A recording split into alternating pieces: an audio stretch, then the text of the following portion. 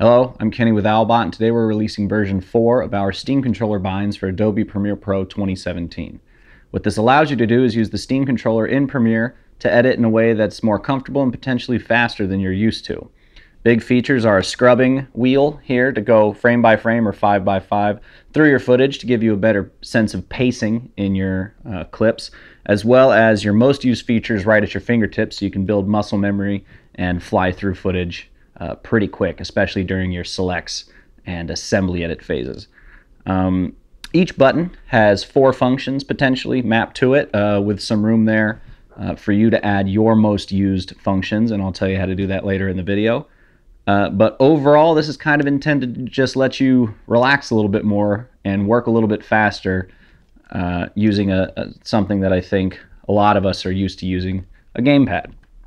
Uh, you've seen versions of this in the Logitech uh, gamepads, you know, the little kind of side multi-button things, really popular with MMOs and uh, games like Dota, I assume. Anything with a lot of keystrokes. Uh, and this is kind of my answer to that because I don't have those functions. Or the, the multi-mouse buttons. Those are also really popular. Um, in this video, I'm going to show you how this works, how I use it, how you can use it, and how you can modify it if need be. So I don't want to take up too much of your time. Download the files from owlbot.co to follow along. Let's get into it. Okay, so first things first, you're going to want to go to owlbot.co, hit the blog, and download our bind set here. Just click that, and you'll get four files. These four files here, you'll, you've got a README with the binds in it and the file paths for these two files the Adobe file, the Steam controller uh, template, and a bind card, which is basically a pretty uh, graphical version of the README there that is in plain text. Now, this only works for Windows. I'm sorry, I don't have uh, a Mac, so I can't test this on Mac. I can't design one for Mac, but once I have access to one where I can do this again, I'll, I'll go ahead and try to release that. Um, it's it's a it's an Adobe problem, not a Windows problem unless they fixed it, in which case give it a shot. I don't know, can't hurt. So uh, once you've put those files where they need to be, you're going to add a non-Steam game in Steam. Now, if you don't have Steam and you're just doing this for the first time, uh, it's free, so you don't have to worry about that. Um, it'll be in this list. Since I've already done it, it's not there, but you'll go ahead and click Premiere. Obviously, that's not Premiere, but uh, then click Add Selected Programs, and uh, you'll be good to go. From there, you will need to open up Big Picture Mode and go into the library, go to Games, Premiere, Manage Shortcut, Controller Configuration, Browse Configurations, and under your templates, you'll see Premiere CC Binds V4 because you put it there earlier. Uh, from there, just uh, set it and forget it. You'll never need to open uh, Big Picture ever again all you from now on you can launch Premiere from uh, the regular Steam window. That's an update. Uh, thanks to Valve for that. I used to have to launch Big Picture every time, and it was kind of annoying. So you're going to launch Adobe. What you're going to do is go up to Edit, Keyboard Shortcuts, and you're going to move it from what it'll most likely be at uh, Adobe Premiere Pro default, and you're going to move that down to this one. Uh, and so in the keybinds, you'll see that things are bound to V, C, S, and T, as well as enter and delete and these keys. If you ever feel the need to edit one, for instance, S doesn't have anything bound to it except S. So you've got room here for Control, Shift, and Control Shift. Every key has a function plus a function when you hold Y, X, or Y and X. That's Shift and Control and both of them. So, uh, for example, under C, which is the down button here on the left pad, um, just pressing down brings you to the timelines, or between the two timelines if you're a pancake editor like me. Um, control down brings you to copy. Uh, shift down is audio gain, and Control Shift down is the type tool.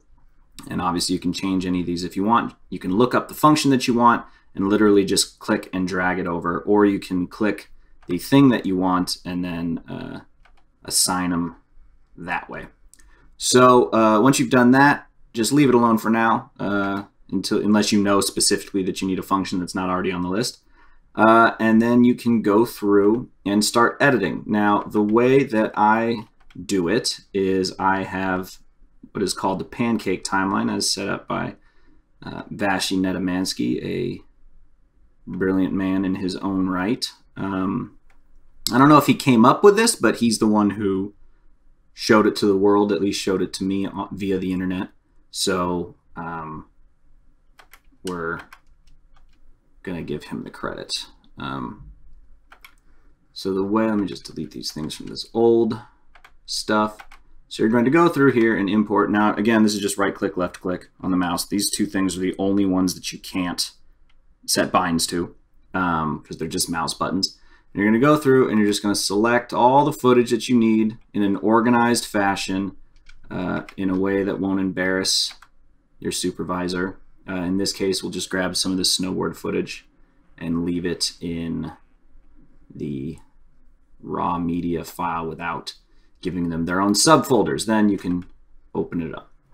So the way that this gives you speed and comfort is A, you don't have to be hunched over the keyboard like a troglodyte.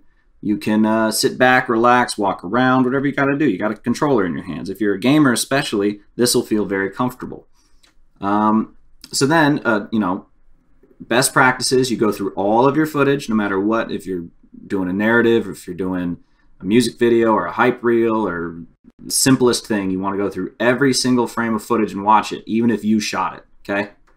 So uh, obviously we're not going to do that here because is just an example, but uh, what you would do is you just go through, click your first one, uh, start from the beginning, and play it. Just watch.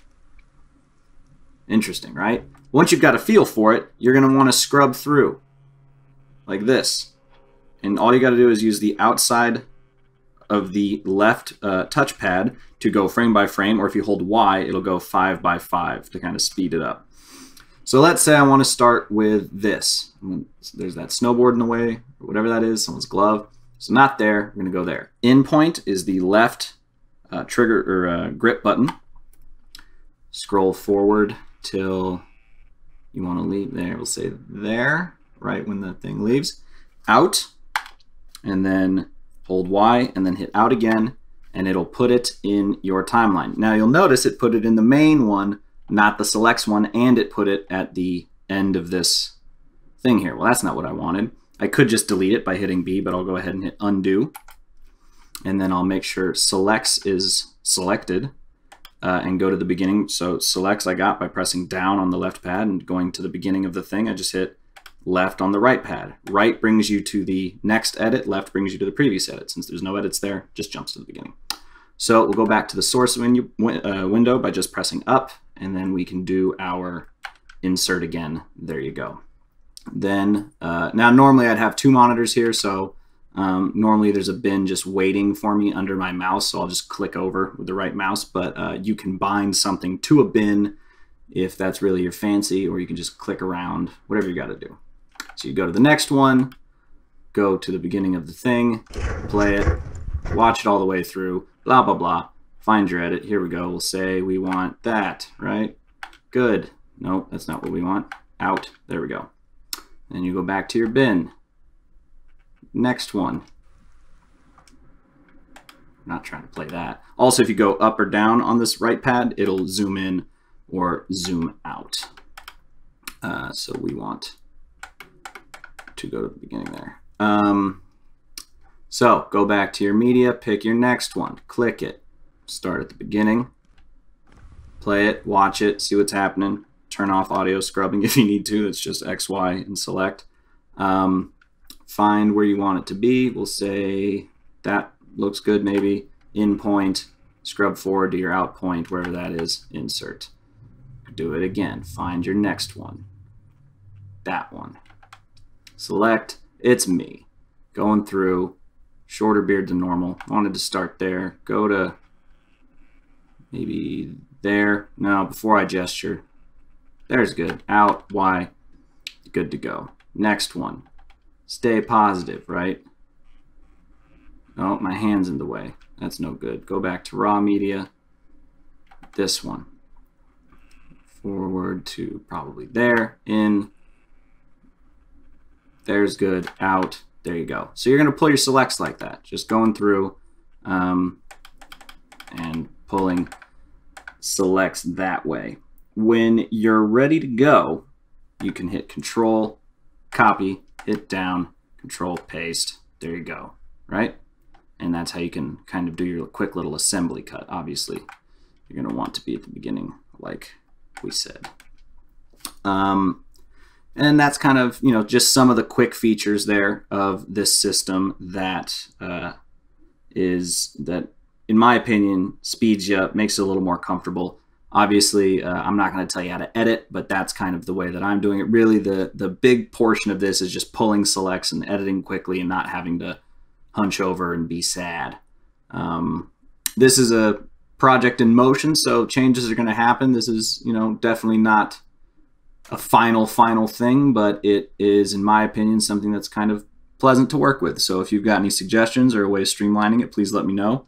Um, there's not much else to talk about. This is bound to save, just so you know. So hit that often. Save your projects. Don't get caught with your pants down.